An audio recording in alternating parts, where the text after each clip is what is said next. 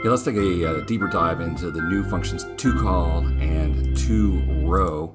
To column basically will take a rectangular range or an array and unwind it into a single column. And yesterday I had kind of missed the fact that out here in the ignore argument, actually more choices. I had talked about number one to ignore blanks, but there's also two to ignore errors and then three to ignore blanks and errors. So right now we just have a zero in there. If I put in a one, you'll see that this blank cell right now is becoming a zero. That will get ignored, which is cool. But then we also have an NA in there, which is being returned.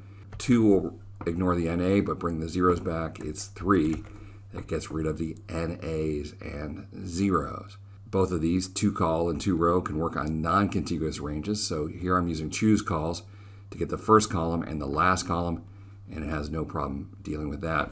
This one, I'd never even thought about it until I saw Joe McDaid mention it in uh, response to one of my posts yesterday. Someone asked a question. So I have three sheets here products, prices, and costs. This is the most evil way to set up data. But let's do a 3D reference here where I'm getting everything from products to prices, just the nine cells so we can see the whole thing. And what we get is the first nine cells from the first sheet and then the nine cells from the second sheet. Now what do we do with that? Well, we can do a take get to get the first nine rows and another take to get the last nine rows and then HSTACK those two together. Then I added a sheet called cost. Let's just go crazy here. So everything from products to prices to cost, those three sheets. Now I'm going to get 27 rows. The take just like before, uh, but then in the middle to get the middle nine, CHOOSEROWS.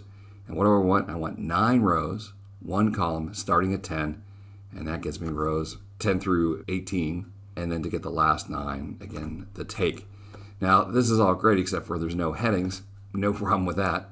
I'll just VStack a array constant of product, price, and cost back together to add the headings in. That's a pretty wild formula right there, taking a 3D reference, unwinding it, splitting it apart, putting it back together, and adding headings.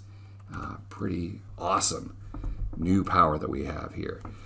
As far as TOROW, it works the exact same way, uh, stretching things out into a row. Uh, every time that I'm tempted to use TOROW, I'm like, well, what the heck am I going to do with a row of that data? I think that TOCOL, for me anyway, will be used much more frequently. Kudos to the Excel Calc team. These new 14 new functions that debuted yesterday are amazing. Check out my video there in the top right hand corner for details on the other functions. Well, hey, I want to thank you for stopping by. We'll see you next time for another netcast from Mr. Excel. If you like these videos, please down below like, subscribe, and ring the bell. Feel free to post any questions or comments down in the comments below.